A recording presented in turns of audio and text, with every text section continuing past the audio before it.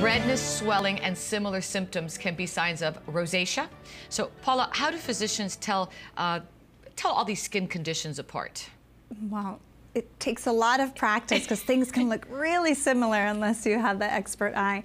But I did like to point out because a lot of people come in and they think they have acne, and what really is happening, it's rosacea. And rosacea is another frustrating skin condition. There's no real cure for it. So it's about prevention and treating the symptoms when it flares up.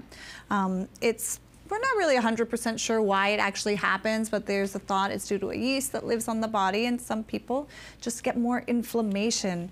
Um, so their skin barrier is impaired. They can get the same type of breakouts, the red breakouts, the pustules, and there's multiple different types. So the most common can look like acne, the pustular acne type, and it's treated a little differently. Uh, how do you determine if a patient has rosacea? We have some symptoms to show you, so let's go through them in case you may think you have a child or, or you as an adult mm -hmm. may be feeling some of these symptoms. Redness or flushing, mm -hmm. uh, Paula, swelling, thickening skin, red and irritated eyes, visible blood vessels, and acne-like breakouts. These are kind of like the ABCs, if you will?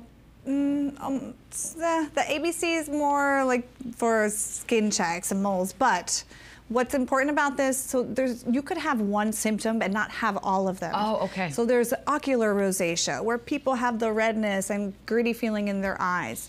They also have just the red blood vessel type, the telangiectatic it's called, where just big red prominent blood vessels.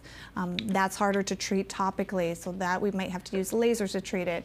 And then the more common is either the pimple-like breakouts um, or dry, patchy skin, and it can be a combination of everything.